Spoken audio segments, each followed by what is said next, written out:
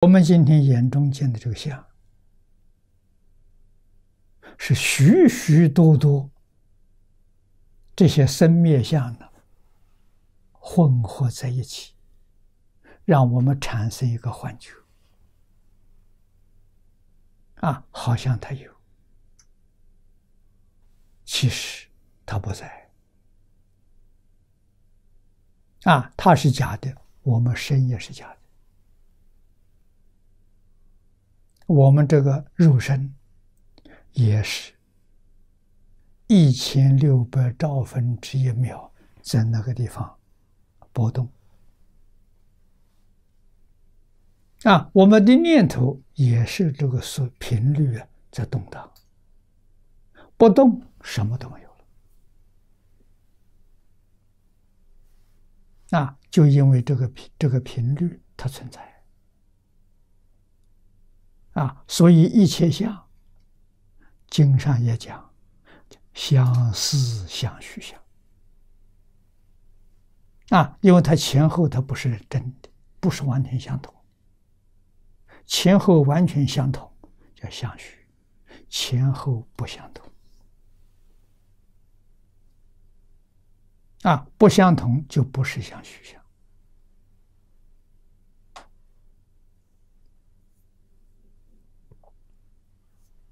啊，所以这个道理要懂得，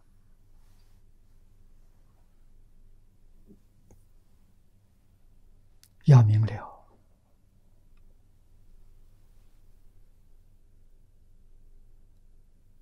我们在这个现象里头就得自在了。啊，为什么会得自在呢？你不把它当真，你不执着它。不分别他，对他不起心不动念，决定没有占有的念头、控制的念头、支配的念头，没有这个，就是在了。有这些念头在里头，就苦了。那个苦本来没有啊，自找的，自找苦吃。啊！如果真有，别人不会见怪你。真的没有，完全像做噩梦一样。啊！所以佛称众生为可怜悯者。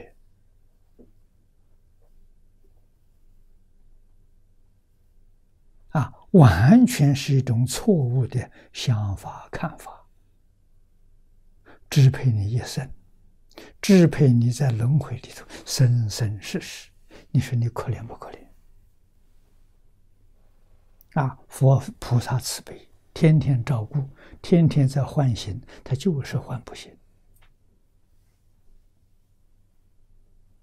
那这什么原因呢？在轮回时间太久了，无量劫了，无量劫这些烦恼的讯息。你真的糊涂了，你把它当做真的，啊，佛菩萨给你讲的，你不相信，你怀疑的，原因就出在这里啊！啊，不知道自己本来是佛，本来没有烦恼系缚啊。真的本来是佛，啊，本来是充满了智慧、的能、相好，那才是你本来面目啊，不是现在这个面目啊。老执着这个面目是自己，就没法子了，这佛也渡不了你。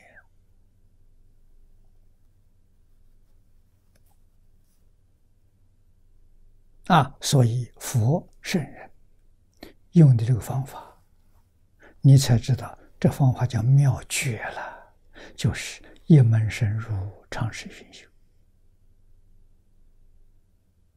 没有比这个方法更绝了。能用这个方法，真死心塌地用这个方法，你不可能没有成就。啊，刘素云告诉我。他听我讲经，就懂了这一句，这我就听懂这一句，我就真干了。啊，一部《无量寿经》，一生听到底，一天听十个小时。啊，他十个小时实际上是听一个小时的，就是一个小时听十遍。啊，这就常识熏修嘛。听一遍不行呐，密切的听上十遍，他就有印象了。啊，一生不改变。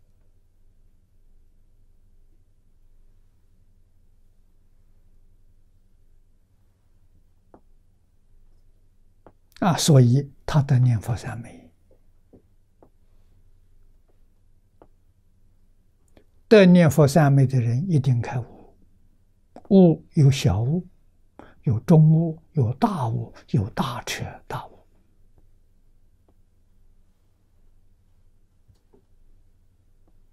啊，他肯定不是小悟，也不是大彻大悟。啊，我们一般讲的大悟，大悟就够他受用了。啊，他就有能力去应付人家问提的问题啊，什么疑难问题他都能解答。啊，这个不需要准备呀，无需要找参考资料就能帮你解答问题。啊，这是智慧。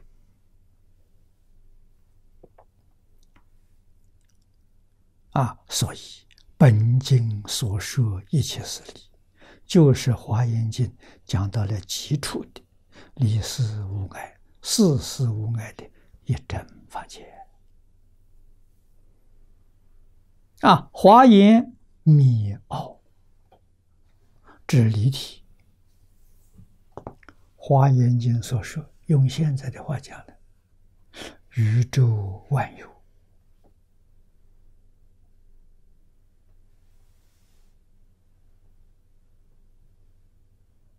用佛经上的说话，变法界虚空界，万事万物的性、相、理、事、因果，这就全都说完了。啊，都在这一部经中。所以这一部经叫圆满法轮。啊，华严是圆满法轮，无量寿经也是圆满法轮。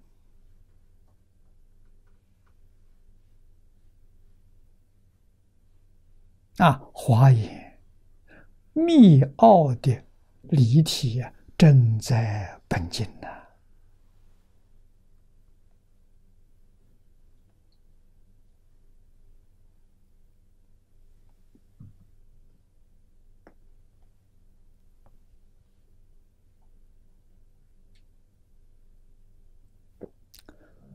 方东梅先生说：“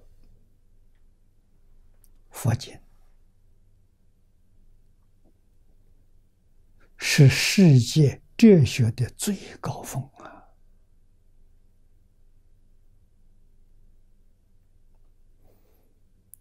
华严是最高峰里面的最高峰。”那本经呢？本经又是华严的最高峰。古云切理啊，可以说是就近切理，圆满切理。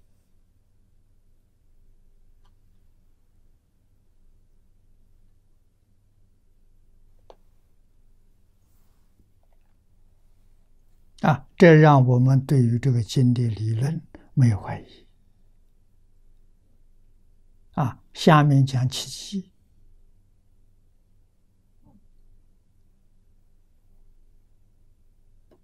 啊，在第一页倒数第四行，至于奇迹，这更是本经之独胜啊！这真这话绝对不是假话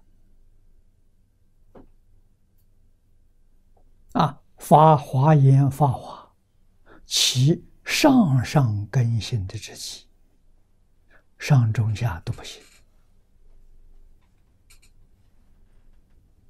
啊！你读了个经不能开悟。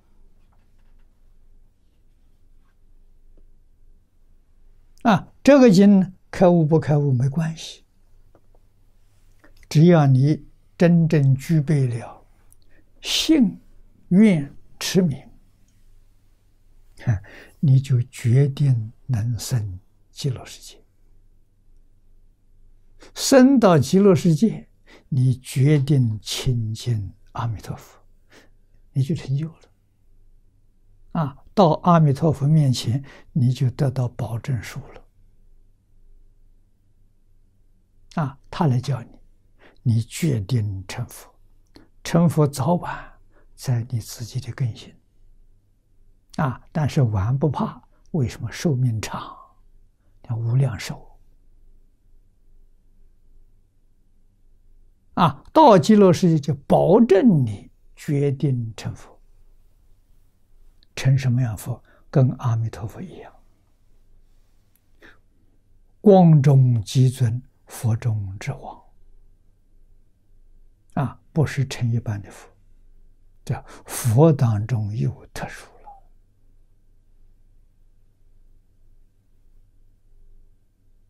了。啊，又到排名第一去了。所以至于奇迹。这更是本经之独胜，他真敢讲这句话。那为什么找不到第二部经能跟他比？啊，经中之持名法门，普被三根，其手反身，就这两句话就行了。啊，一切经不敢讲这两句话。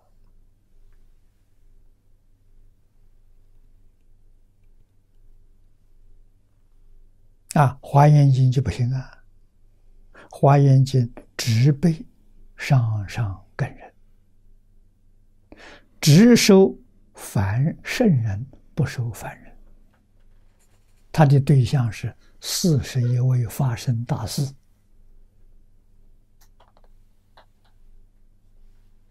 啊，不但六道众生没分，十法界的佛菩萨没分。啊这个我们要知道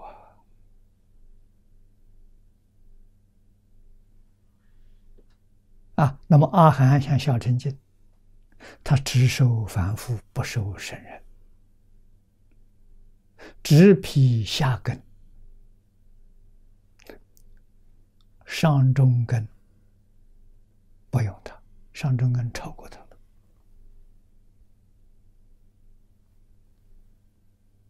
啊，是只有这个法门。你看，上上根者，正好全体成道，他成佛了。他这一接触，就全通了。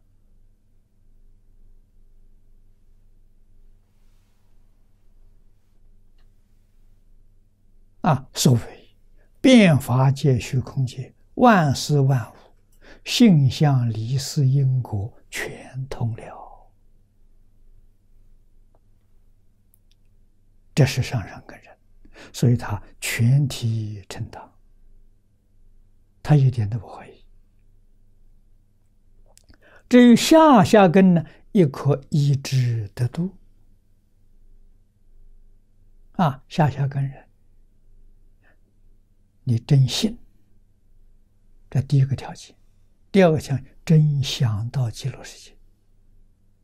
第三个，我真念阿弥陀佛。什么叫真念？不夹杂妄念叫真念。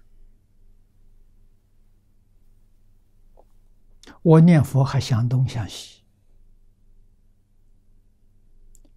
把你的真念破坏了。啊，真念就是一心，没有二心。我心里头只有阿弥陀佛，除阿弥陀佛之外，通通放下了。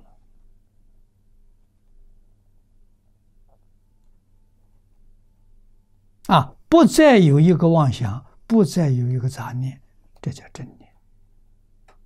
这种心念佛，感应非常快速。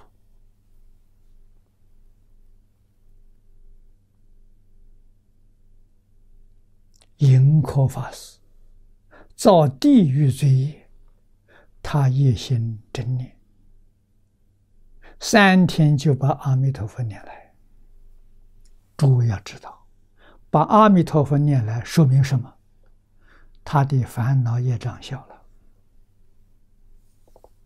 他如果烦恼业障没有消，烦恼业障盖着他，阿弥陀佛来了，他见不到。啊，他为什么能用功非常猛烈？啊，为什么？等于说看到地狱火坑在面前，这是我救命的，我不念就要堕地狱。啊，逼着他不敢不念。啊，三天把阿弥陀佛念来，三天往生极乐世界。念佛人最好的榜样啊，这是下下根人呐，造无逆十恶地狱罪业的啊，也可依之得度。这上则文殊普贤、化身菩萨，一君发愿求生啊，这是我们在华严经上看到的。啊，下至无逆受恶，临终念佛亦必随愿得生。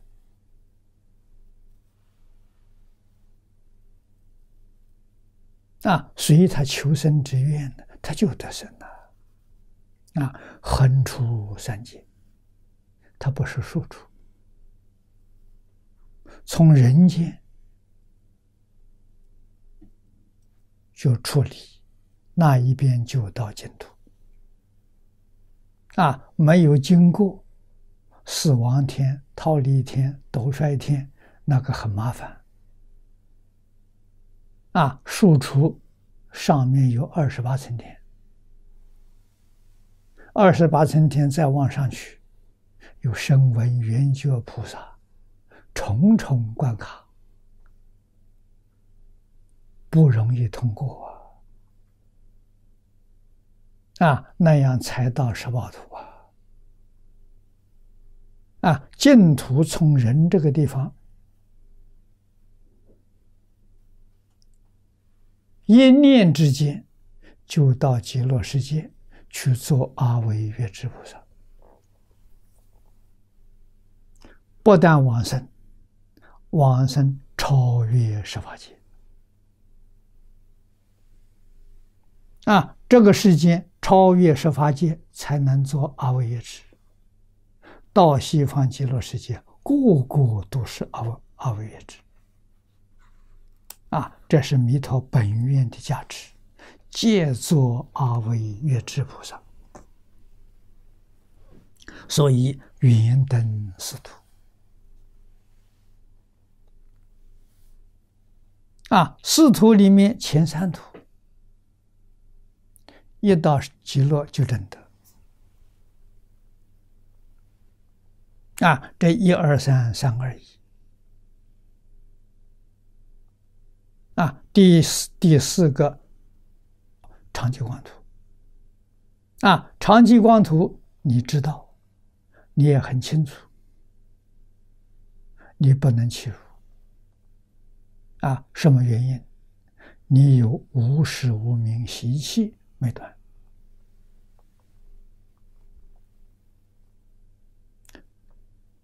在西方极乐世界，每一天听阿弥陀佛讲经说法，帮助你断习气。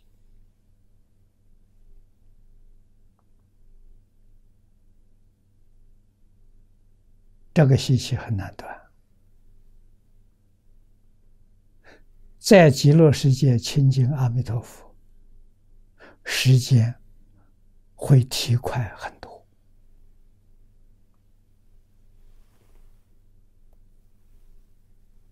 啊，不在极乐世界，真的是三大圣奇界；在极乐世界，可能三个圣奇界变成一个圣奇界。或者变成一万劫、一千劫、一百劫啊，甚至于十劫、一劫，你就成功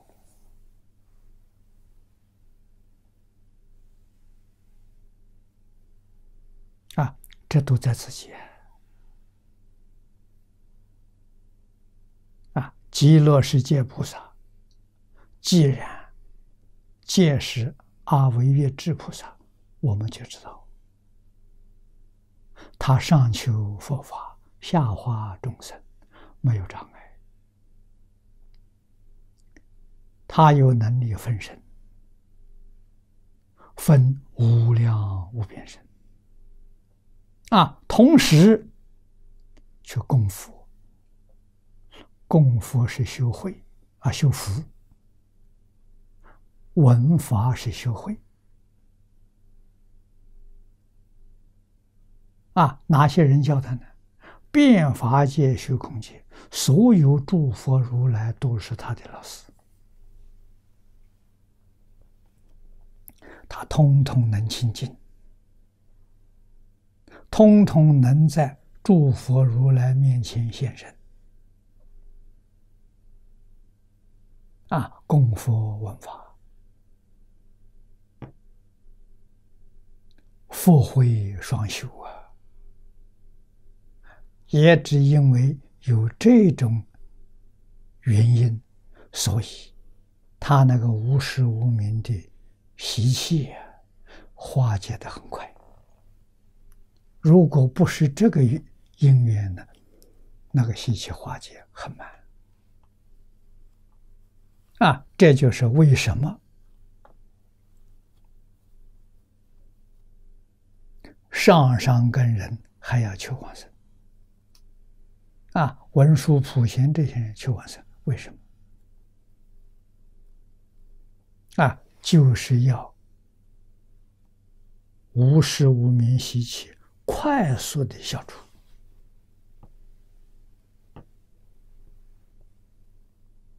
要不是这个道理，他往生极乐世界毫无意义。啊，那么极乐的殊胜就超过一切诸佛如来。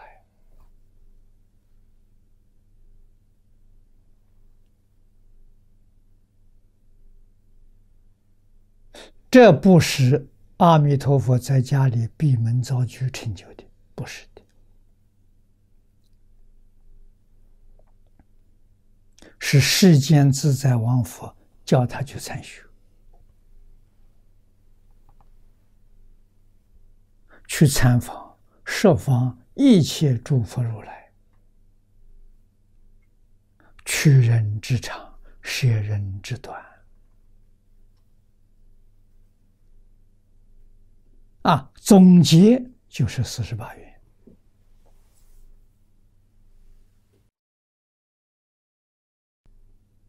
啊，他用了五届的时间。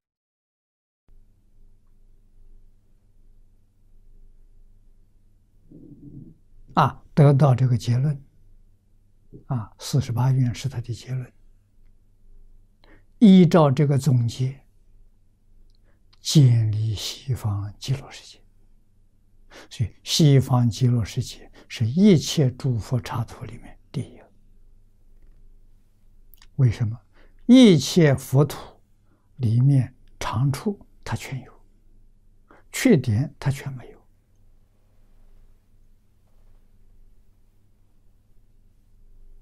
啊，所以到他那个里面修行，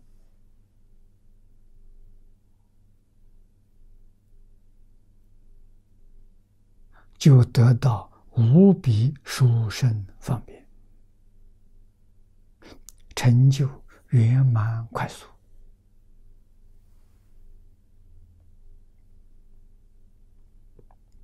这些事非常可惜，没有人能把它讲清楚、讲明白了。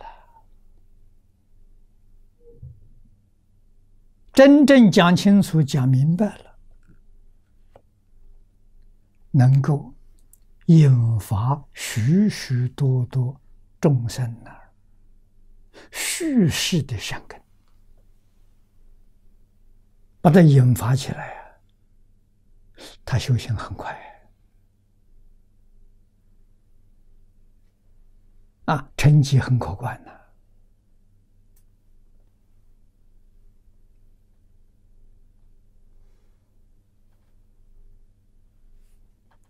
等于观音师之并肩，与文殊普贤同行，可见此法门的究竟方便。普音群集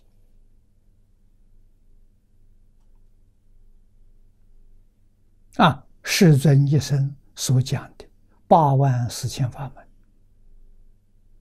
这个法门第一，为什么什么样的众生都适合？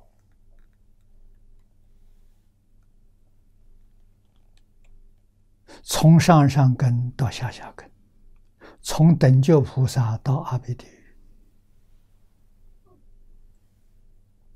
问题是你有没有这个福报？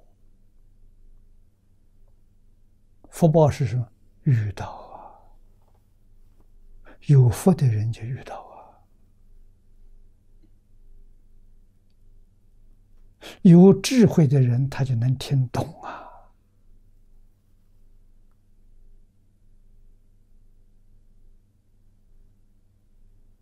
啊，富会居足的人他就真干了。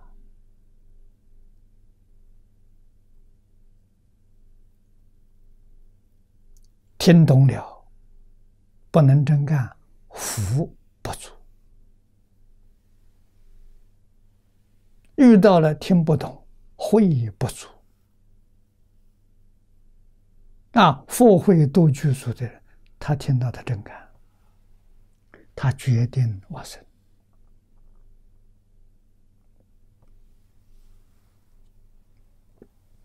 那我们再看下面这一段。这是年老隐身的啊，特别契合现代众生的根基。这有契机者，一欲契合时机之意。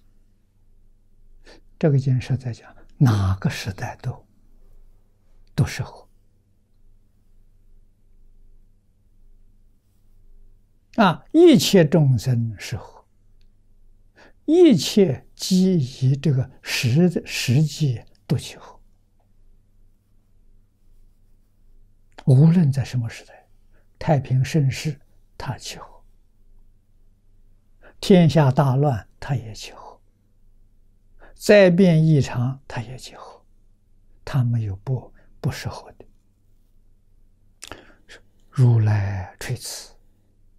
独留此经呢，于诸经灭尽之最后百年，正表此经能切于当前及未来之社会也。啊，适合于我们现前，适合于将来释迦牟尼佛发运幕后的九千年。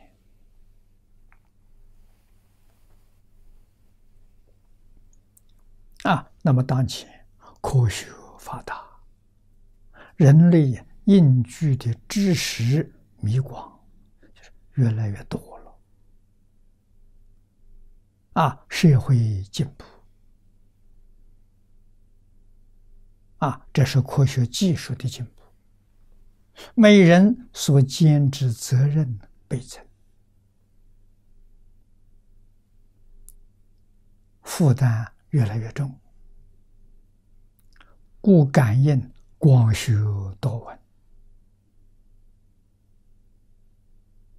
鞠躬尽瘁，参加建设，造福人民，实现人间净土。啊，晚近太虚法师提倡人间净土，曾详引《无量寿经》文句。啊！盖以此经双照世出世间，详是真俗二谛。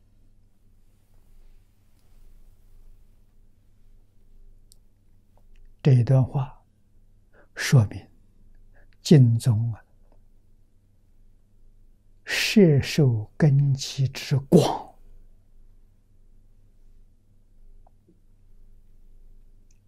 是。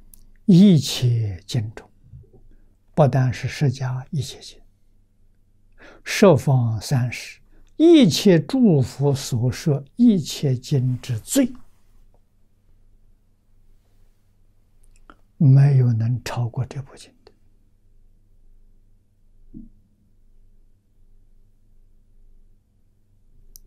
这是真话了，一点都不假了。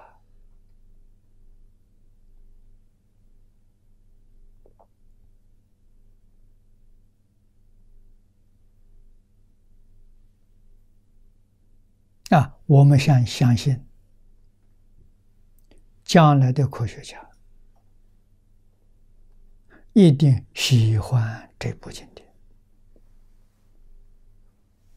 啊，从一生从事科学的研究，到最后能到极乐世界去做佛，能够证得究竟圆满。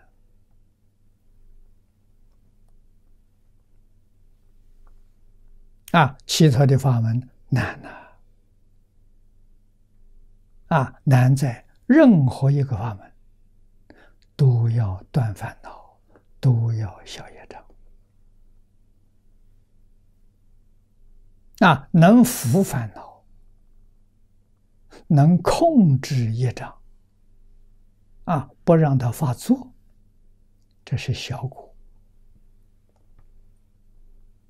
啊，小成就，根没断，能够斩草除根，这是大成就。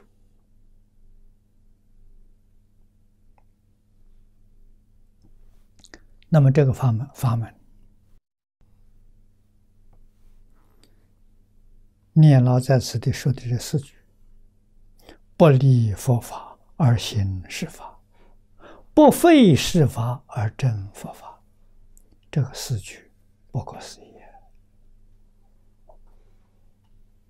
啊！你学其他的法门有障碍，这个这个法门世法跟佛法都不障碍啊！下面说了，因持名之法最为方便，随地可修。何待登入山林？就是不需要找个山林人迹不到的地方，不需要啊，随时可念呢，不需要闭关演奏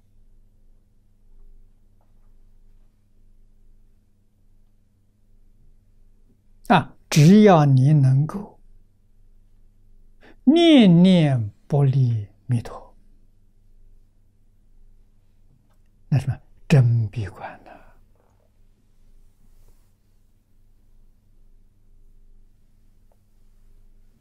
不是把自己关在一个地方啊，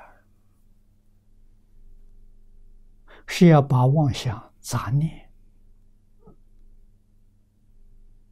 把它关到外头去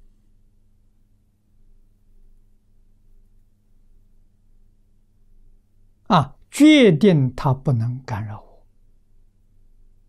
我念念就一句阿弥陀佛，白天也念，晚上也念，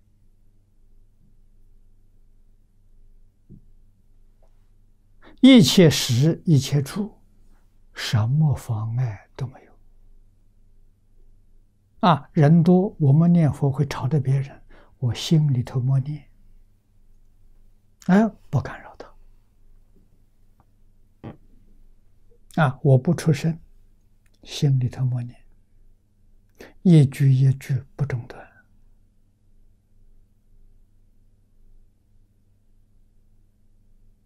啊，外面的这些扰乱不干扰。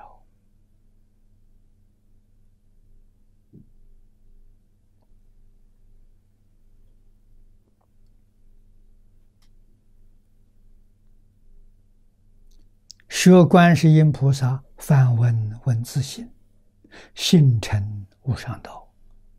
什么叫梵文？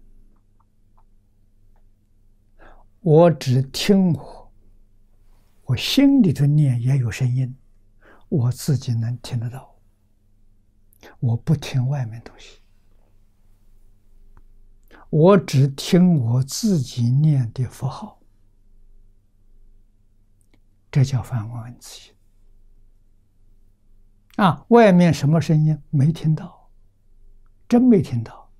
为什么？你注意力不在那边，注意力在符号上。啊，外面声音听而不闻。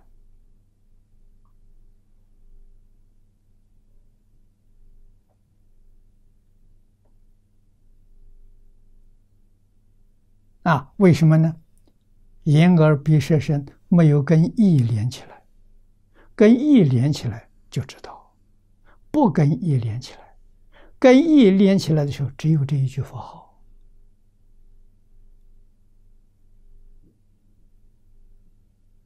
啊。所以心里感觉到的只是这一声佛号，清清楚楚，寥寥分明，真念佛人呐。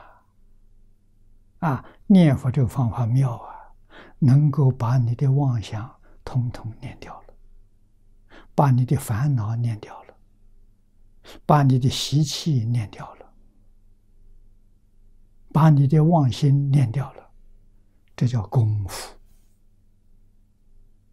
啊，把五欲六尘拉拉杂杂东西全给念掉了，心里头纯一阿弥陀佛。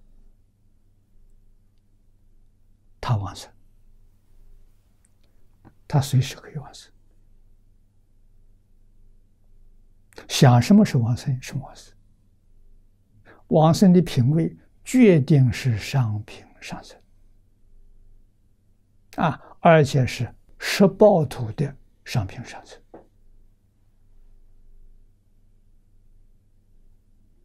啊，这就是说。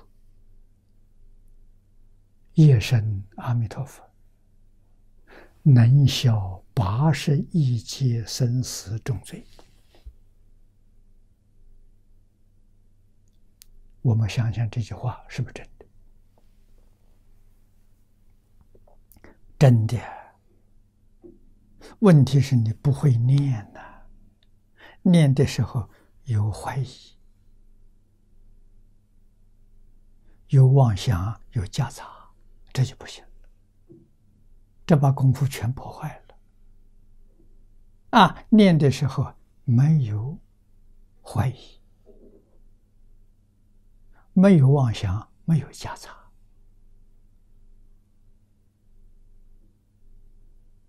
啊，那这个念佛深深消八十一劫生死重罪。